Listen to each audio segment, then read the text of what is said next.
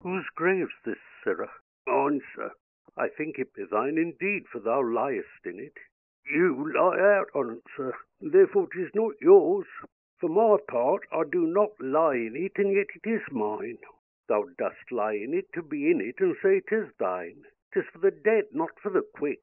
Therefore thou liest. 'Tis a quick lie, sir. 'Twill away again from me to you. What man dost thou dig it for? An old man, sir. What woman, then? For none neither. Who is to be buried in it? One that was a woman, sir. But rest her soul, she's dead. How absolute the knave is. How long hast thou been a grave maker? Of all the days of the year, I came to it that day our old King Hamlet all came Fortinbras. How long is that since?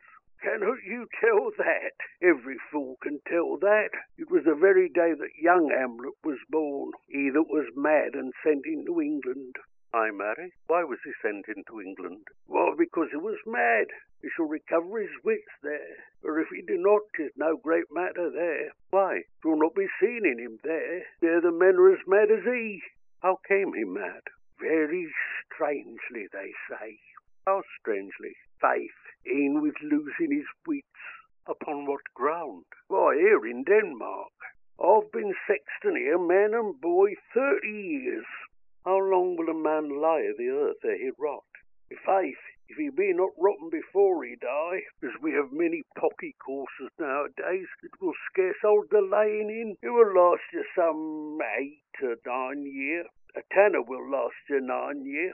Why he more than another? Why, sir, his hide so tanned with his trade that it will keep out water a great while, and your water is a sore decayer of your oarsome dead body. Here's a skull now.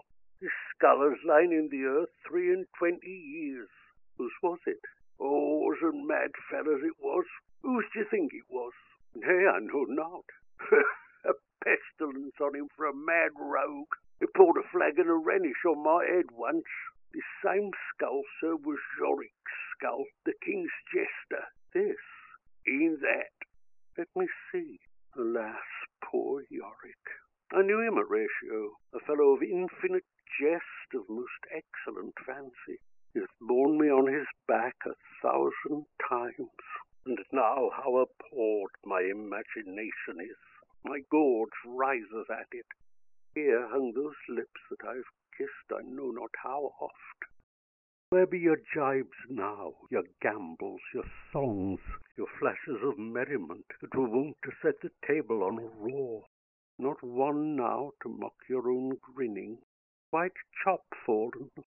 Now get you to my lady's chamber, and tell her, let her paint an inch thick to this favour she must come. Make her laugh at that.